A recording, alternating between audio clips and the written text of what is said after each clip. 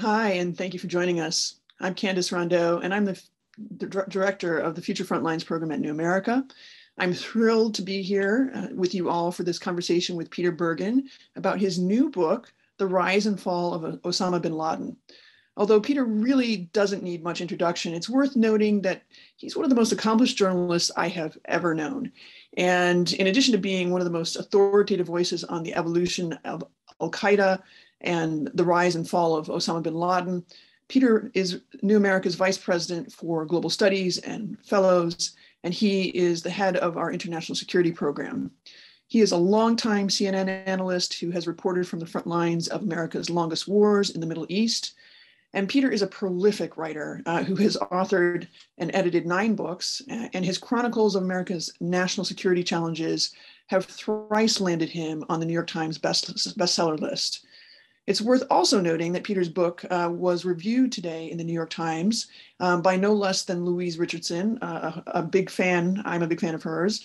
Uh, she is one of the most preeminent scholars on terrorism. So if you haven't had a chance, do check out the review and do check out the book. Um, we need to give a shout out and thanks to New America's International Security Program and all the members of New America's team, um, as well as our partners at Solid State Books for organizing this event. Um, you can purchase your copy of The Rise and Fall of Osama bin Laden through the link in the chat. Um, and during the event, we really want to invite you to converse with us, talk with us, uh, submit your questions in the Q&A, uh, and you, you, can check that out in the feature below. You can find that at the bottom of the screen. Um, you can enter your questions there, and we'll get to your questions uh, toward the end of our conversation. So before um, I get into this conversation with Peter, I just want to say, you know, the publication of Peter's latest book, um, The Rise and Fall of Osama bin Laden, falls not coincidentally just one month before the 20th anniversary of Al Qaeda's attacks on the World Trade, Trade Center in New York and the Pentagon in Washington, D.C. on September 11, 2001. In fact, it was probably right around this time that um, Bush, the Bush administration's national security advisor, Condoleezza Rice, would have been receiving a number of um, intelligence warnings about an imminent attack planned by Al Qaeda, although there were not many specifics on off, off, offer at the time. Um, it also happens that only a few years before the attacks of 9 11, Peter snagged um, famously uh, an on camera interview with Osama bin Laden that marked the beginning of Peter's um, great um, association with trying to understand this movement and uh, bin Laden as a man, um, but also I think sparked one of the greatest manhunts of all time, which Peter has also chronicled uh, both in books and in documentary form for HBO and others. Um, so what's really interesting to me about Peter's story, and I've known him for a long time now, uh, since our days back in the back in the wilds of Afghanistan um, before um, the latest chapter of the war. Um, I think what's really interesting about this book, Peter, is um, how you document how bin Laden rose to power um, and, and sort of left the world in this kind of ignoble state uh, in, in Pakistan. Um, and I think we're going to look forward to hearing from you a little bit about kind of how you put this narrative together um, and some of your impressions um, before we also get to the audience Q&A. So there are a lot of myths, of course, about bin Laden. Uh, and I think you, you've talked about those myths in this book, and I think you've done a really great job of unpacking them. Um, and recently you had a piece in the Washington Post that, um, you know, enumerated five major myths about bin Laden and about Al-Qaeda um, and kind of, you know, what we know or what we think we know about him. Can you talk a little bit about those myths and, and what you, you kind of tease out there? Well, Candace, first of all, thanks for doing this. And Candace and I share not only an affiliation with New America, but we're also both professors at Arizona State University. and um, well, you know, uh, there have been a lot of myths about bin Laden, and not surprising. Um, any kind of figure that actually, and bin, one, one of the interesting things about bin Laden, he's one of the few people I think you can truly say that changed the course of history. I mean, without 9 11, a lot, a lot of events wouldn't have happened. Uh, the Iraq War wouldn't have happened. The overthrow of the Taliban wouldn't have happened. Uh, you know, so without without without Bin Laden, 9/11, uh, you know, it was really his idea. He pushed it. There was internal resistance within within even Al Qaeda to this idea of attacking the United States. But you know, some of the myths, uh, you know, one big myth that kind of began early uh, uh, on was uh, the idea that bin Laden was sort of a blowhard who didn't really fight on the front lines of the war. Um, Milton Bearden, uh, who's somebody I admire quite a lot, um, ran the CIA operation in Afghanistan. He told PBS Frontline uh, that bin Laden essentially had never fought uh, in the war. Turki al Faisal, who ran Saudi intelligence uh, during the period of the Afghan war, uh, made similar observations in a interview, a relatively recent interview with the Guardian. The fact is, is that Bin Laden actually fought whatever you know. He's a complex figure, uh, and clearly he did a lot of evil. But uh, one thing that he did do was fight uh, personally on the front lines against the Soviets, in almost suicidal bravery in 1987. Uh, that was documented in a couple of books in Arabic. Uh, one of which is actually probably the most useful account of that early experience. Um, it was written by a guy called Abdul Badaji. Uh, it's, a pseudonym. Um, uh, anyway, so I, it was written by Abdul Badaji, um, and it was written in 91. It's a very detailed account of the Afghan Arabs, what they did in Afghanistan. Uh, it takes them to task occasionally, so it's not hagiographic, and it was it's a very useful primary document because it was based on uh, interviews of people who actually kind of participated uh, in that um, jihad and even uh, you know, had access to walkie-talkie transcripts and sort of from the battlefield. So that was that was that was one myth I think that um, that I hope the book uh, you know at least sort of shows um, it was not the case. Another myth was the idea that the which is kind of relevant to today and um, Candace, you're you know many of the players in in in on both sides of this debate. Um, is the idea that Al Qaeda and the Taliban would separate after 9 11. Now, if you were a rational actor, uh, after 9 11, if you were in the Taliban, I think there was a moment, we know there was a moment when I think peace could have been made with the Taliban. They had lost completely on the battlefield. They were interested in making some kind of peace. Uh, Anand Gopal, who's our colleague both at New America and at Arizona State, has uh, detailed this in some, you know, uh, with, with kind of deep reporting. They were ready to make a deal in the sort of 2002 time period um, the deal, but the, the, Americans were not interested uh, in, in, such a deal at the time. The Taliban was sort of anathema. Um, so, from a rational actor perspective, the Taliban would have rejected Al Qaeda after 9 11. After all, bin Laden, who was not popular at that up amongst uh, many leaders of the Taliban, but you know, Mullah Omar was always his sort of rabbi, as it were. Um, we have the situation where uh, the, the Taliban leadership didn't particularly like bin Laden after 9 11. Um, you would have thought that they would have sort of, as a result of losing their, their regime power, that they would have rejected Al Qaeda. But uh, that didn't happen. And in fact, in the Abbottabad documents, which are publicly available, so you know, anybody who's interested can, can look at these documents. You know, bin Laden was in correspondence with Mullah Omar, the leader of the Taliban in the uh, in the months before he died, essentially saying, you know, the Americans are leaving Afghanistan. It was kind of a sort of buck. He was trying to sort of essentially raise raise the spirits of Mullah Omar. Other members of Al Qaeda were in, in touch with a, a guy called uh, uh, uh Agha, who was uh, Mullah Omar's sort of initially private secretary, then became the lead negotiator with the Talib, uh, Taliban and, the, and, and in, its discussions with the United States. Uh, there's also evidence in the Abbottabad documents that um, uh, Al Qaeda was financing elements of the Taliban, including the Haqqani network, uh, which of course Siraj Haqqani is now the number two leader in the Taliban. And uh, they're very, they, they celebrated an attack on Bagram Air Force Base. It was a joint operation between the Haqqani network and, and Al Qaeda that took place in, in, in mid 2010. Um, and you know, in which an American contractor was killed and a dozen US soldiers were wounded. So the, the documents in Abbottabad are pretty clear that the Taliban and Al Qaeda continued warm relations. Uh, they did not separate. Um, and uh, the United Nations in June, as, as Candace knows, released a report um, which said that the relations between Al Qaeda and the Taliban remain very close. And we don't think of the United Nations as a, as a I mean, I think of the United Nations as a pretty good independent uh, adjudicator of these issues. Uh, they've had a a cell there uh, looking at the Taliban and Al Qaeda uh, for many years. Um, and, and, they issue quarterly reports, which are, I think, pretty authoritative about what's going on. Um, and I think this UN report speaks for itself. I think it certainly does. I mean, so a couple of uh, interesting touch points here. I just want to mention for the geeks out there uh, who who have followed Al Qaeda uh, and Taliban um, and their and the rise uh, and fall, and then rise again, at least of the Taliban.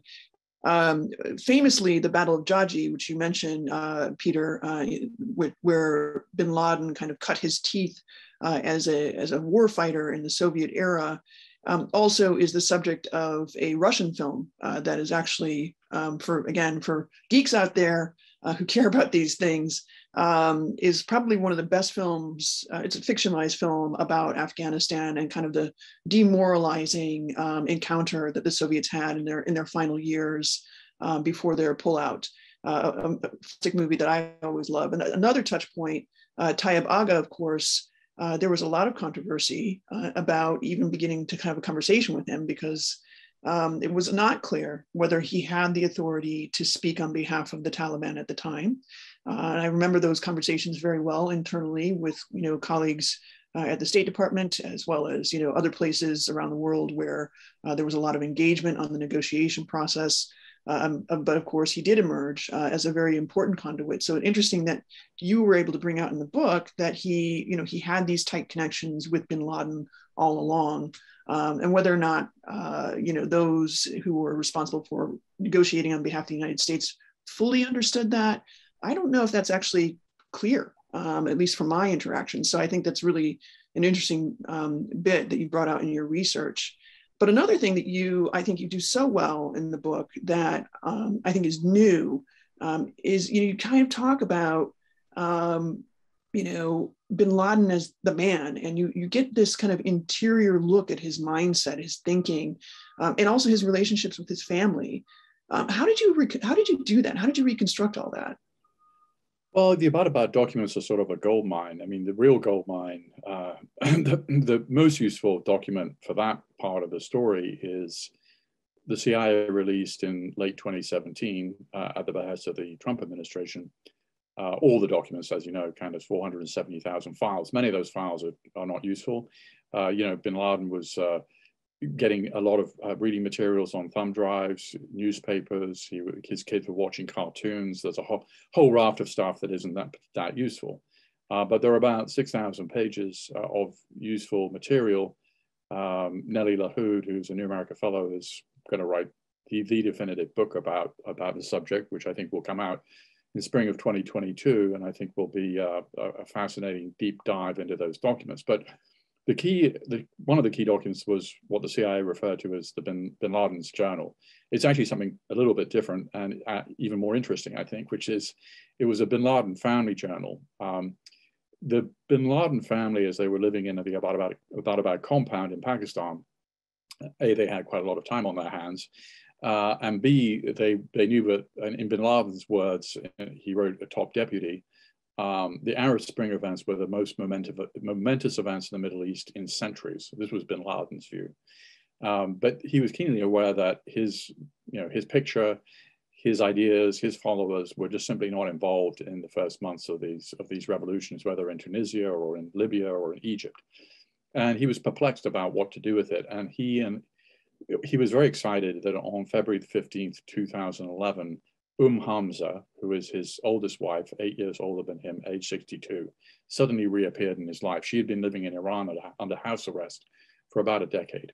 Uh, and bin Laden, uh, and this may be surprising for people who aren't following the Al Qaeda bin Laden story closely, bin, two, of bin Laden's, two of bin Laden's oldest wives had PhDs, were highly educated. Both of them claimed descent from the Prophet Muhammad, which was very important to bin Laden, who put great store in trying to imitate in his own mind the life of the Prophet, Prophet Muhammad. Um, and he really wanted them to kind of give him advice about what to say because the Arab Spring was happening without his ideas, without his followers. And yet he knew this was really a big deal. I mean, what was bin Laden trying to achieve? He was trying to achieve regime change in the Middle East and you know install Taliban-style theocracies from Morocco to Indonesia. Here was the regime change he hoped for, but it was being led by liberals and members of the Muslim Brotherhood, which he despised or disliked because of its uh, you know, engagement in conventional politics. So the, the diary is an almost daily account of these meetings that bin Laden hosted every every night in his Abbottabad compound. And I, I want to thank Nadia Oweidat, who's a New America Fellow, who helped me kind of interpret what it's 228 pages of handwritten Arabic. So it's not easy to translate. Um, and, and of course, it's sort of written in a little bit of shorthand because it wasn't intended for public consumption. The family wanted to record what bin Laden was thinking about the Arab Spring. They wanted to advise him about a big speech that he was planning to deliver because he was conscious of two things. One, the Arab Spring was a big deal and he needed to intervene publicly. And two, the 10th anniversary of 9 11 was approaching and he wanted to make a big statement. Um, and I think his silence over the Arab Spring is pretty deafening. Uh, you know, because bin Laden released a lot of videotapes and audio tapes in the period after 9-11, many of them, by the way, recorded in the Abbottabad compound. Uh, and in fact, we have outtakes of those uh, videos that are now publicly available. Um, and, uh, you know, so he, but he hesitated because he was trying to work out with his two older wives um, who were advising him and who played a kind of um, unseen but very important role in his thinking about what to say. And he came up with one big idea, two big ideas, I think. One was that he was going to kind of suggest that a religious, a religious council should be assembled and they would advise the new rulers of the Middle East about what to do. Presumably, their advice would be, you know, essentially rule like the Taliban, which no one in the Middle East was really clamoring for at the time. Um, and the other big idea he had, he was interested in issuing some kind of public apology on behalf of Al Qaeda and its affiliates, because he was keenly aware, as were many of the people in, in the top leadership of Al Qaeda, that Al Qaeda's brand was in deep trouble because they were killing so many Muslim civilians. This was a group that had positioned itself as the defender of Muslim civilians, and yet so many of their victims in Iraq and Pakistan and elsewhere were Muslim civilians. And uh, the, the Abbottabad documents are full of kind of admonitions to the Pakistani Taliban, to Al Qaeda in Iraq, to the Al Shabaab in Somalia, which is basically stop killing Muslim civilians. So this was an, uh, bin Laden was wanted to kind of relaunch Al Qaeda as kind of a kinder, gentler Al Qaeda around the 10th anniversary of 9 11. And he was going to relaunch it with a public apology. So these were the kind of two key things that were on his mind that you, that you glean from the family diary and also from the other documents that were released uh, from the Abbottabad compound. So, I mean, really interesting that you have this kind of I alone can fix it um, kind of mentality, which is essentially, you know, the leader, the kind of the leadership style of Bin Laden um, was such that he he felt like he he had the answers, and yet it, what was clear, I mean, as you point out from the Arab Spring, um, any message that he would have sent out into the world, uh, whether it was kind of like the you know Al Qaeda rebranded or you know in a sort of softer form or something you know uh, more grand as you described sort of a council world council of uh, religious elders would have fallen very much on deaf ears um, in large part because as you say i mean he had undercut his credibility and the credibility of al-qaeda um, through the c- continual you know uh, targeting of civilians um, of, of all kinds and, and, i think in some ways also lost um, lost the plot on some level uh, in large part because of that commitment to targeting um, Muslim civilians in particular. But also, you know, as I think Louise Richardson points out in her review of your book, which I thought was an excellent point, um, you know, he just didn't have a positivist vision ever. Um, he, he didn't really, he had a lot of ideas about how to topple regimes, how to take down um, governments, how to, you know, address these kind of injustices and grievances, but no positivist vision. And I think, you know, um, I have to say he shares that in some ways, and Al Qaeda shares that in some ways with the Taliban. Um, and I, you know, some might argue otherwise. Uh, I think we can get into a very hearty debate. i am sure we're going to hear from the audience about that. Um, but the Taliban have always been split. Um, I think in the rank and file and even in the middle level of leadership about what the vision for um, governance actually looks like in the longer term. Yeah, I could not agree with you more. I mean, I, I, just think that is, I mean, I think this is quite a profound point about the Taliban, and we'll get to Al Qaeda in a second, but the Taliban don't have a program for governance. I mean, I, uh, have, I spent a fair amount of time in Taliban controlled Afghanistan, which is why I've always had a healthy skepticism about their plans for the kind of um, utopia, uh, because this was a place that was, you know, the World Bank stopped measuring um, Afghanistan's economic indicators under the Taliban because there were none. the population of Kabul was 500,000 and it was like a ghost city. Now we don't know how large the population is, but four or five million, no one really knows. But um, so the Taliban, as far I'm not an expert on the Taliban, I don't claim to be, but I, my my view is is that they believe that if we create a pure society where everybody is sort of worshiping God and living under Sharia law in our understanding of Sharia law, which obviously isn't how, how a lot of Muslims would see it, that um, the world will be made pure and you know you don't really need to govern.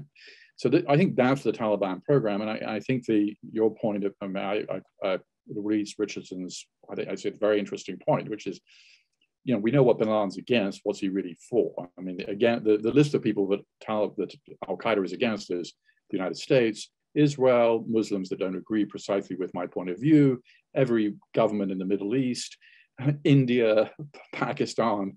You know, the list goes on. Uh, the list goes on and on. So, um, I, I, think that's true. And uh, you know, the, if you look at the, you know, I refer to this in the book. I mean, David Rapoport is a uh, American political scientist who you know came out with he, you know essentially he said there were four waves of terrorism: the anarchist wave, uh, the anti-colonial wave, the Marxist wave, and now the religious wave. And I think that's all true. No one can debate it.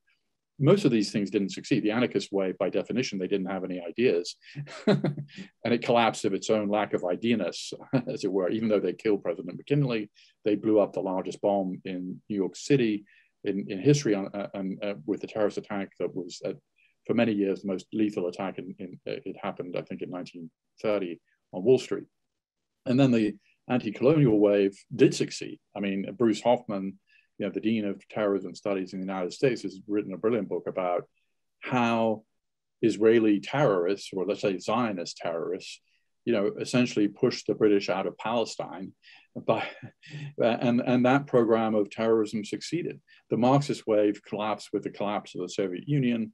Um, and now we're in the religious wave, which I think has got a has got a lot of life in it. And I think on 9/11, the 20th anniversary, the split screen the Taliban will want the world to see is them riding into certain Afghan cities on American military equipment that they've seized. And that will be their way of memorializing the, the 9/11 attacks. And unfortunately, you know, I think that we, the Biden administration, has made a, in my view, a, a terrible unforced error in simply just sort of turning turning off the American involvement in Afghanistan. Um, and you know, we can speculate how it will all play out, but we've seen this movie before in Iraq after we left. The United States left in December of 2011. Uh, we went back in uh, three years later. Um, and we made the same mistake in Afghanistan. As Candace knows, we closed our embassy in 1989.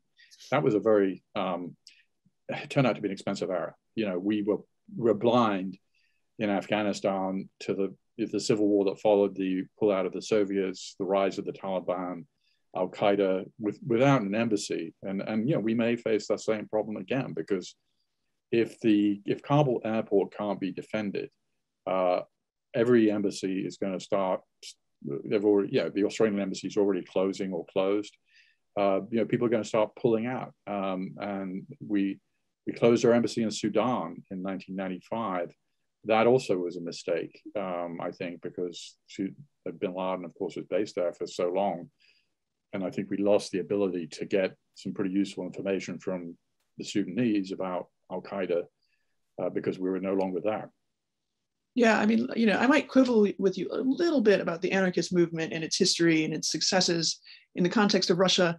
Um, you know, they're famously um, really kind of fired the revolution in St. Petersburg. But again, that's a small footnote and quibble.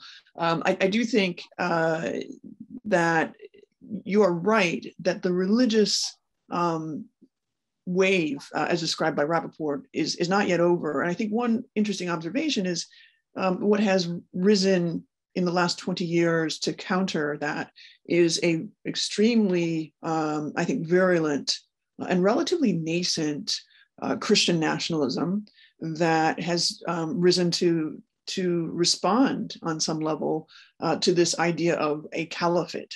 Uh, you've seen a lot of that on, online and so forth and so on. And I think um, in some ways, there's kind of a force and counterforce uh, still making this wave very active. But let's let's talk a little bit about some of the other observations in the book, if, if we can. Um, I mean, some of the things that I think are also super interesting um, are just, you know, all the missed signs and messages and clues uh, as to where bin Laden was, um, you know, what his intentions were. Uh, and of course, we, you know, many of us probably who are, you know, listening in, talking um, to this talk today uh, might have seen the movie Zero Dark Thirty, and there's a lot of myths that came out of that movie, um, which is of course documenting the the raid on on Bin Laden's compound in Abbottabad, Pakistan. Um, but uh, of course, essential to that narrative uh, is this uh, Abu Ahmad al Kuwaiti, uh, who was a longtime associate of bin Laden, a trusted agent of bin Laden. Uh, and information about him comes out pretty early, doesn't it, Peter? Yeah, and I mean, I stand corrected on the on uh, uh, Candace is a Russianist, so she knows Russian history a lot better than almost anybody else. Uh, but um, so um, you know, one of one of the reasons I wrote the book is there there's a lot of new material. It's not just the Abbottabad documents. I mean, I think the Senate Intelligence report on coercive interrogations and secret prisons was it's a very dense report. We've only we had the unclassified version is uh, 500 pages. It has, uh, I think, you know, 2,000 plus footnotes, which are a gold mine for historians about, uh, because a lot of material surfaced there about, in those footnotes, about what was really happening, not just in the CIA interrogation program and secret prison, but also kind of the hunt for bin Laden. Um, and, um, you know, I think the, the report, um, let's leaving aside the debate on were coercive interrogations uh, useful or not in finding bin Laden. I, I, in the book, I come down and say they, they really were not, particularly the CIA coercive interrogation program. In fact, the, the, the five leading members of Al Qaeda who had coercive interrogation techniques either supplied misleading information about bin Laden and his whereabouts or uh, no information at all. Um, but you know the the the the footnotes sort of describe, I think, an Agatha Christie story about how bin Laden was found. There was no magic detainee who sort of gave up the information. Bin Laden was pretty paranoid and very careful about his personal security. And after the arrest of Khalid Sheikh Mohammed in 2003, the operational commander of 9 11, who, he, who bin Laden and Khalid Sheikh Mohammed had met, re relatively recently before Khalid Sheikh Mohammed was, was, was captured uh, they met in Swat, which is where one of the places that Bin Laden was hiding in Pakistan. Um, the the you know the from that point forward, Bin Laden was being super careful uh, and was meeting with no one outside his immediate family and his two bodyguards. But you know we can piece together from the Senate Intelligence Committee report, uh, and in particular, uh, that the little fragments of information about the Kuwaiti, um, who was the bodyguard, started emerging as early as 2002. Now, you know, there was a lot of information coming into the CIA in 2002 about who was in Al Qaeda, their aliases, who their names might be. Al Kuwaiti was just one of hundreds of aliases of Al Qaeda members or associates that were sort of coming in. And his exact significance, I don't think, was begun until it wasn't until about 2007 that the agency really began focusing. And in fact, there was a very interesting memo from 2007 that uh, was surfaced in the Senate Intelligence Committee report that came out, I think, in 2014. So this memo said essentially, we have, I'm, I'm, I'm going to kind of characterize the memo. So we don't have any leads on bin Laden. The only lead we now have, the only really live lead, is this guy Abu Ahmed al Kuwaiti. We can, don't go and arrest him.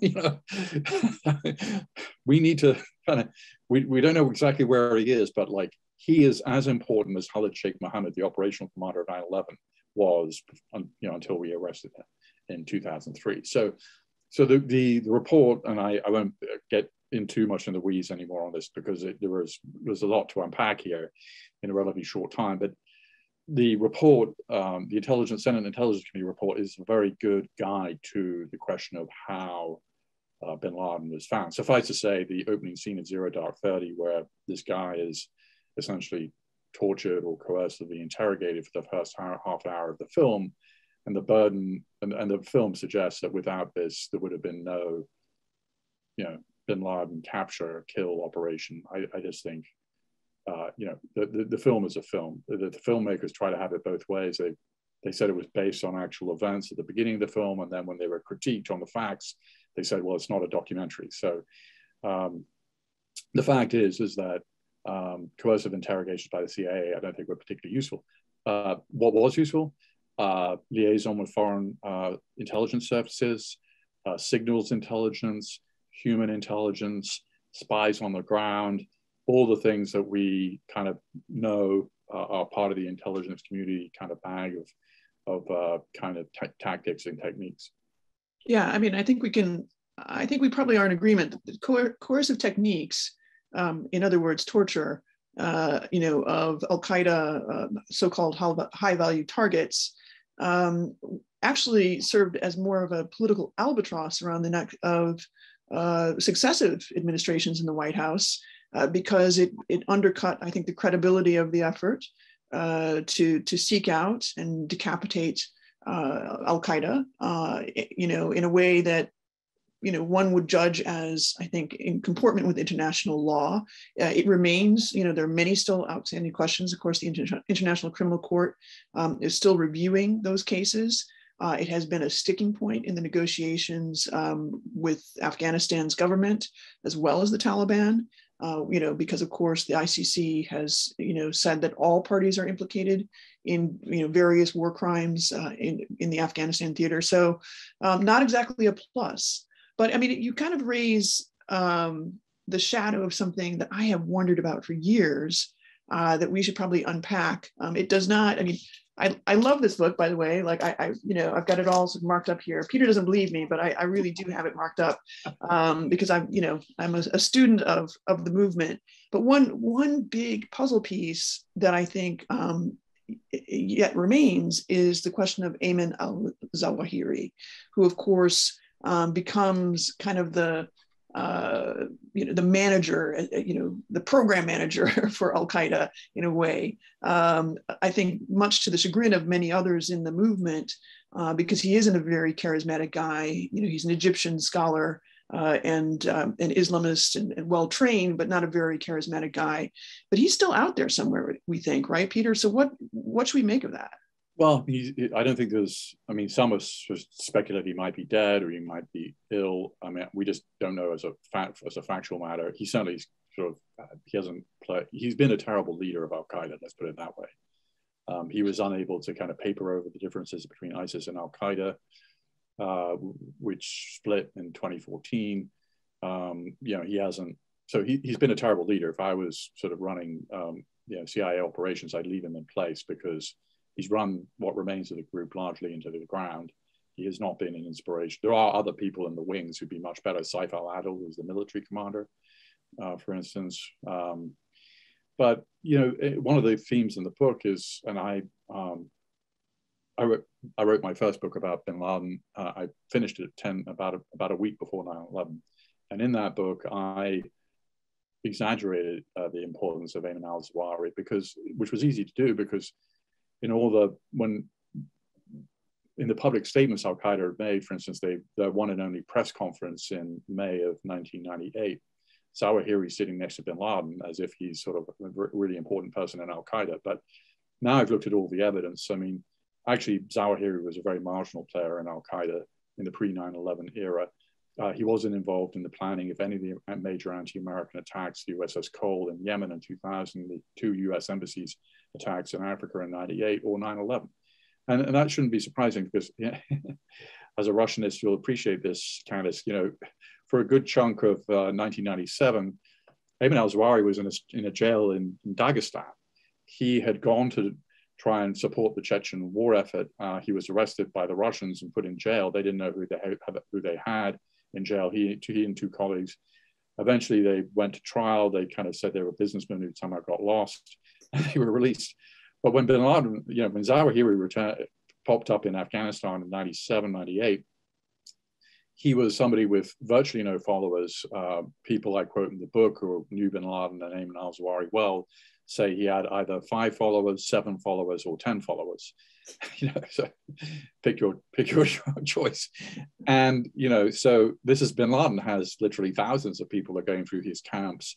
170 made members of Al Qaeda who secretly sworn no for the allegiance, and you know, many thousands of people who kind of transit, you know, got trained in the camps without necessarily formally becoming part of Al Qaeda. And uh, you know, Zawahiri was a supplicant in Bin Laden's world, and he wasn't.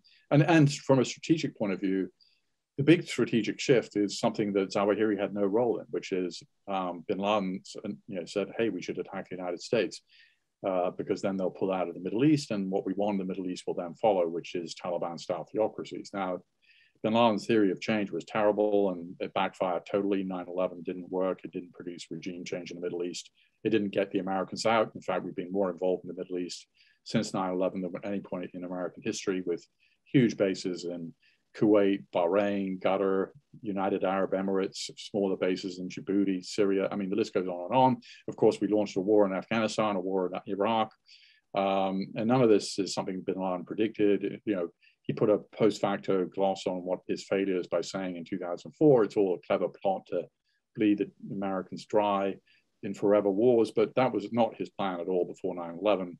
And some people, you know, even smart people have sort of this going back to your myths question, Candace this is one of the big myths that you know this that 9-11 was a clever plot to embroil us in wars in the Middle East. No, quite the reverse. It was supposed to push us out of the Middle East. And so 9-11 was sort of a, a great tactical victory for Al-Qaeda, like Pearl Harbor was for Imperial Japan, but it was also a major strategic failure, uh, as Pearl Harbor was for, for Imperial Japan. Al-Qaeda didn't get what it wanted. Bin Laden died knowing that none of his strategic goals had been achieved and you know he he died um, also knowing that his big goal of the United States again had not happened. Yeah, I mean it's interesting. I mean because it's sort of reflective of kind of this half-formed vision that he had of you know what would happen after toppling all these regimes, and um, you know as we as we mentioned before, um, the proof would have been in the pudding, you know, during the Arab Spring in 2011, but it just it never gelled, it never materialized, right? So um, it's an interesting point about kind of his legacy and how to interpret it, whether it was a tactical um, sort of bid or strategic one. And it turned out to be kind of a, a barely, a barely um, well-planned uh, tactical uh, journey on some level. So, um, well, with that, I mean, we've got, you know, about 15, 20 minutes here um, for, for questions from the audience. I know um, that there are a few out there. you know, we probably should start by talking a little bit about um, you know, some of the legacies. But we have a question here from John Mueller. Uh, let me let me um, pose that to you. Which did the demise of Bin Laden hamper Al Qaeda Central uh, and its actions in any significant way? So, what was the impact of his actual death?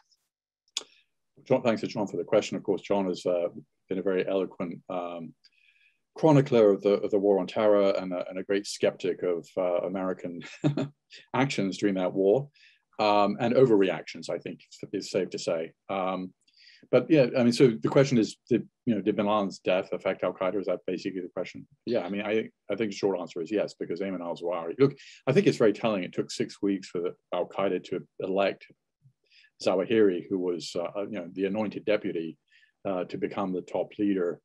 Um, and Zawahiri is just he's not an inspiration. You know, a a he's a black hole of charisma uh, you know, a lecture from Zawahiri is a guarantee to put you to sleep, uh, whether in Arabic or translated. you know, it's like he just he just he's an, he, he has not been a successful leader. He wasn't a great. He was, by the way, he was sort of disliked. Uh, you know, one of the themes that you kind of see in the Zawahiri was he was always kind of an annoying. Uh, kind of you know irritating presence. Uh, no one, you know, he, and that was true long before he took over Al Qaeda. So unsurprisingly, he hasn't been uh, a particularly effective leader. Um, Al Qaeda was in bad shape when Bin Laden was killed uh, already. Um, you know, he, obviously, it has ha- had some successes with affiliates in Yemen, North Africa, in the Philippines, and elsewhere. And those those affiliates have kind of waxed and waned in importance. Al Qaeda in Iraq eventually, of course, became ISIS. Um, that's a form of success. Uh, ISIS continued to look at Bin Laden as the inspirational leader, even when they split off from Al Qaeda. Um, and he, but you know, his ideas linger on. I mean, I don't, you know, Bin Laden's ideas um, were not killed with his demise. But you know, overall, I mean, the fact that we haven't had a significant terrorist attack from Al Qaeda or its affiliates in the, in the United States since 9/11 speaks for itself. The only one that has happened was that attack in 2019 in Pensacola, Florida, which had some links to Al Qaeda in Yemen. Three American sailors were killed, but you know, go back to 2002 and 2003, and the concerns there would be a second wave of attacks and um, yeah, none of that happened. Uh, the United States has done a very good job of defending itself. It's done a very good job of its offensive operations. Uh, you know, um, the best witness for that is Bin Laden. The Abbottabad documents are just full of his concerns about the drone program, its effects on Al Qaeda. He was planning to move Al Qaeda into other parts of Pakistan, maybe back into Afghanistan. Um, and so, you know, it, it, we've managed this problem. I mean, the part of the, polit the political problem here, and this is John Mueller, John would be sort of familiar with this, is you can't really declare victory because from a political point of view, if you declare victory and there's even a small terrorist attack that can somehow be traced back to Al Qaeda or one of its affiliates, you know, the political costs of that are very large. But the fact is that we as analysts and researchers can say, we have managed this we, the United States and its allies, have managed this problem pretty well. Uh, the last successful attack by Al Qaeda in the West was 15 years ago in London, July 7th, 2005. Um, you know, obviously you had ISIS with the attacks in 2015 in Paris that killed 130 people, and Al Qaeda and ISIS certainly have. You know, ISIS was a sort of stepchild of Al Qaeda, but the, the fact is is that the United States and its allies, I think, have done a pretty good job of managing this problem here we are 20 years after 9-11, uh, we wouldn't have expected um, the kind of relative lack of successful terrorist attacks in the West um, by foreign terrorist organizations. Um, and so I think, yeah, it's not, it's, it's not over because as, as Candace said, the, the religious wave is, of terrorism is still with us. Uh, but um, you can't just sort of ignore the problem and hope that we'll just sort of be buried in history's unmarked grave of discarded lies, which is George W. Bush's great uh, observation. I, I, suspect that line was written by Michael Gerson, who's now a Washington Post columnist, who's a speechwriter for, for, for George W. Bush, but it's a great line. Um, and I think, you know, bin Laden is uh, heading into the kind of oblivion of, of the, that unmarked grave of discarded lies, but, uh, but not yet. No, by no means. I mean, you know, you point out something very interesting. I think that I, a lot of members of our audience will probably, you know, agree with on some level.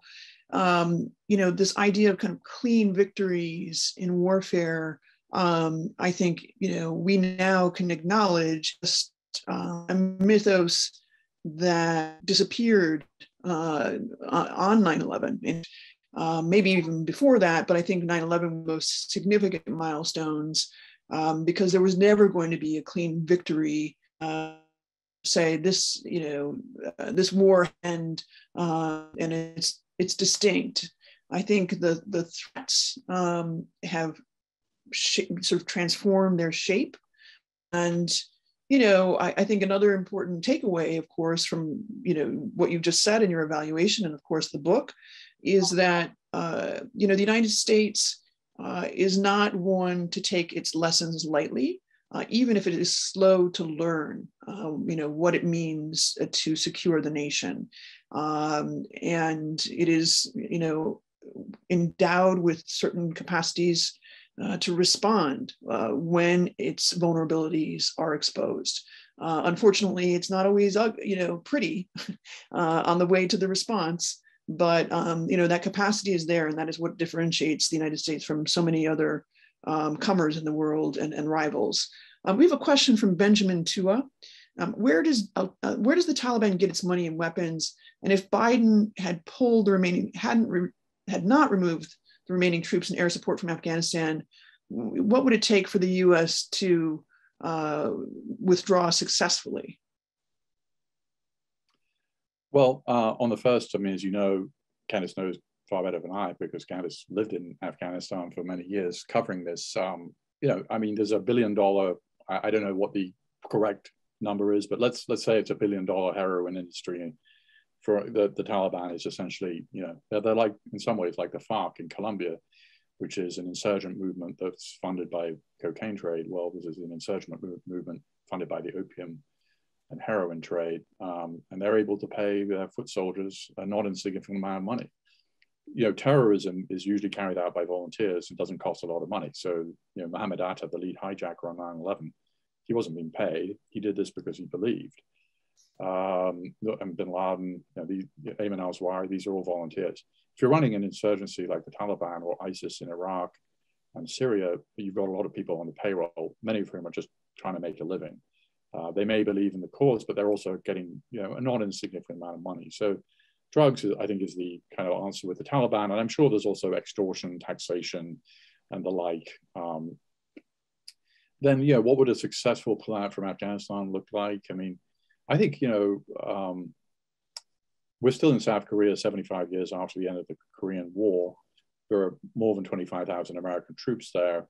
Uh, they're there for a good reason. Uh, and under the, that American national security umbrella, South Korea went from probably the, one of the poorest countries in the world in 1953, the end of the Korean War, to now one of the richest. And South Korea, of course, is different from Afghanistan. But the point is, is that 20 years in the grand scheme of things is not, uh, uh some have portrayed our 20 year um, kind of involvement in Afghanistan as a long time. Well, you know, we're still in Japan, uh, we're still in Germany, we're still in South Korea. things, you know, a country like Afghanistan is not going to become a functional state um, quickly. Um, but we have certainly undermined it. And, you know, this is a bipartisan undermining. It began with President Obama with the West Point speech of December 1st, 2009, in which he announced a surge of troops and a withdrawal date. I was at CNN that day, and I remember you know, CNN gets a copy of the speech before the speech is given. At three o'clock, the on, on CNN was withdrawal, not surge. And that was what that was the way it was interpreted in Afghanistan by the Taliban, by the Afghan government, by the Afghan people, by Pakistan. And then we had the Trump administration who said they're constantly going to withdraw. And then we have President Biden who said, you know, we are actually withdrawing. So part of our problem, I think, has been just simply, you know, we keep saying we're going to, well, we, we keep changing our mind about what our strategy is there.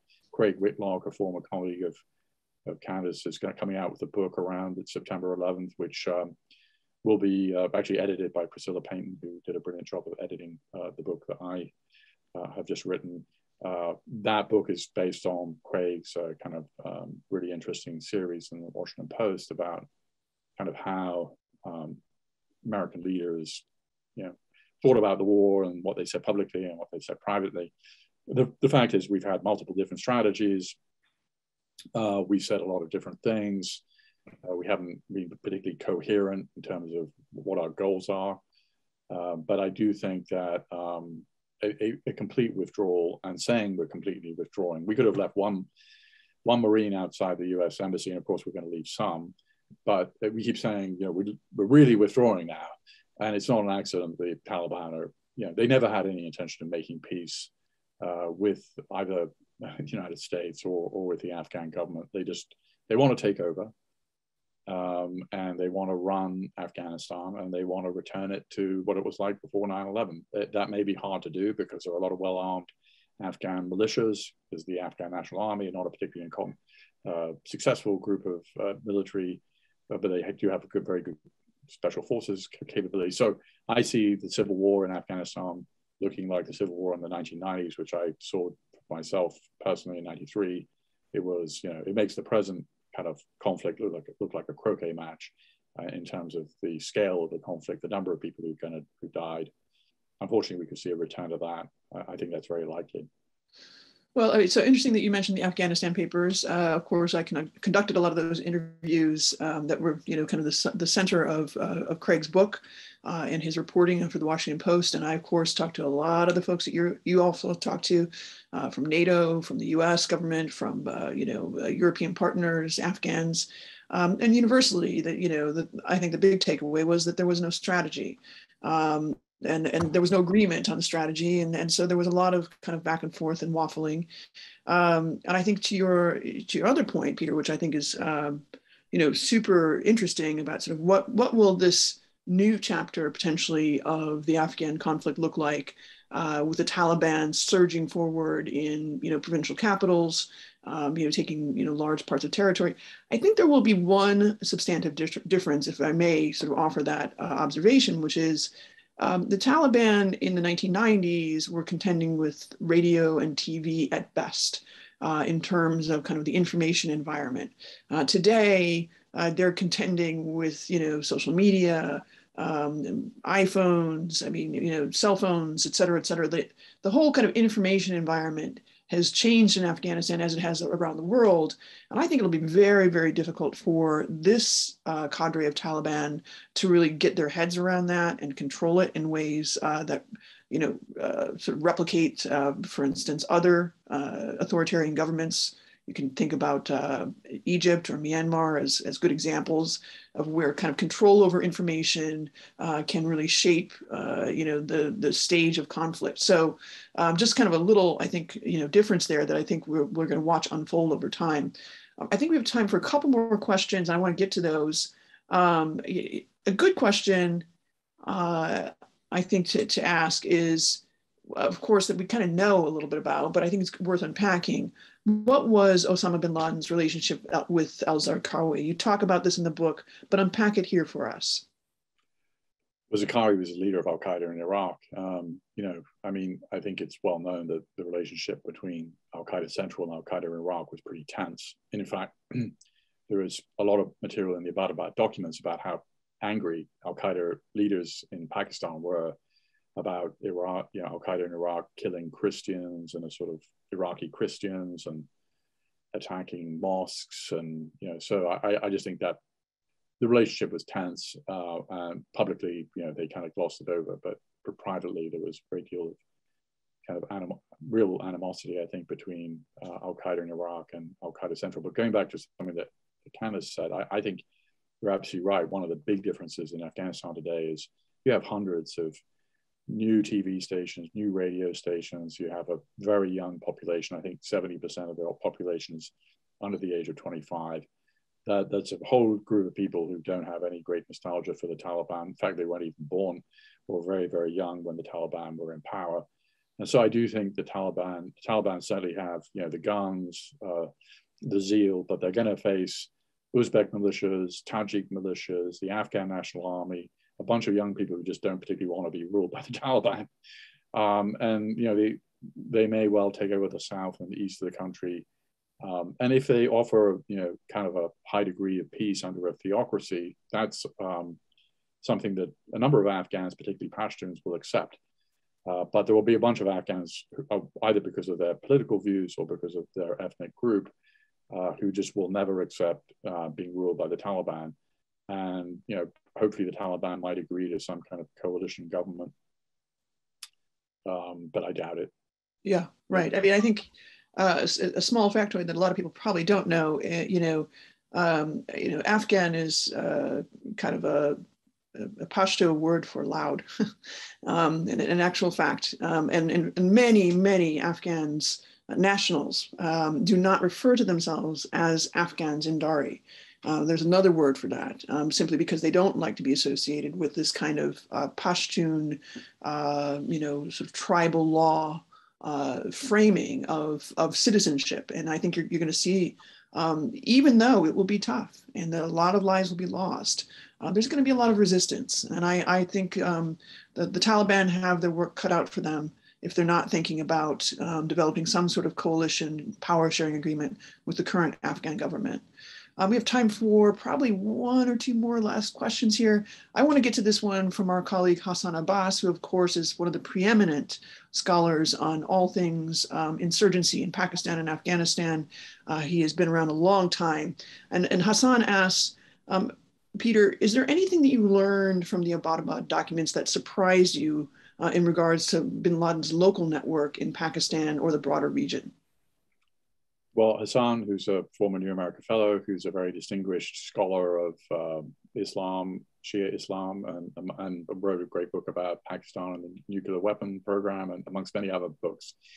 So Hassan, I mean, I think um, you know one thing that I it's hard to prove negatives, but there's nothing in the documents uh, that just show that Bin Laden was in touch with Pakistani officials, that Pakistani officials knew where he was. You know, there's a whole kind of conspiracy theory about this. I mean, some Senator Carl Levin, who unfortunately just recently died, the chairman of the Senate Foreign Relations Committee, uh, Armed Services Committee at the time bin Laden was killed, said that he believed that senior Pakistani officials were protecting bin Laden.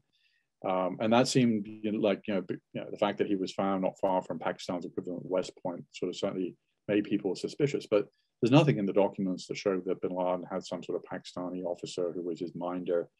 Nothing to substantiate Sy Hersh's crazy conspiracy theories about the United States and Pakistan kind of both knowing where Bin Laden was and that he was being kind of protected by the Pakistanis and funded by the Saudis and the, the whole US Navy SEAL operation was kind of like the fake moon landing. And there's just nothing, there's nothing in there substantiating that. And bin Laden, you know, mentioned the 6,000 pages of documents. Uh, they were never intended to be, uh, he never thought they would land in enemy hands. Uh, and they portray uh, Al Qaeda as, you know, basically, you know, very, very derogatory comments about Pakistan that referring to the Pakistani uh, Pakistani government uh, as apostates, which is the gravest charge you can you can make about a fellow Muslim. Uh, plans for military operations against Pakistan are in those documents. There was an attempt to um, have a truce between Al Qaeda and the Pakistani government. Uh, feelers were put out to the Pakistani Taliban, which have links to the Pakistani government, to try and negotiate a truce. In the end, nothing happened. Uh, the, it was just talk, uh, as one of the documents outlines. So, I mean, uh, you know, it, it, so you know the documents just don't substantiate anything that uh, that there was any kind of Pakistani collusion knowledge about Bin Laden's presence in Afghanistan. What was my, you know, I think the big surprise, my big, biggest surprise in all this was the extent to which Bin Laden's two educated wives, or his older wives, were really helping him think through his strategic thinking. Uh, because you don't, that's, I mean, to me, that was a very interesting. Um, uh, that you know, we, we, there's quite a lot of proof of this now. I think we kind of knew that uh, uh, several years ago. We knew that Bin Laden's two older wives were highly educated, um, but I don't think we knew the extent to which they influenced his thinking. That they were his intellectual sounding boards. Absolutely, the family the family um, angle uh, is just one of the most fascinating parts of the book. Um, we are almost at time here. And so I want to, first of all, uh, once again, commend the book, congratulate you, Peter. Um, go out, get your copy, guys. Um, it's an excellent read. Um, you can dog ear it like me or, you know, do whatever. Uh, and I also want to thank Solid State again for helping us um, organize this event and, uh, of course, uh, working with Peter to publish um, what is, I think, an excellent account uh, on the anniversary of 9 11 of the rise and fall of Osama bin Laden. Thank you all for joining us and um, tune in again for our next conversation with Peter. Thank you, Candace. Thanks for doing this.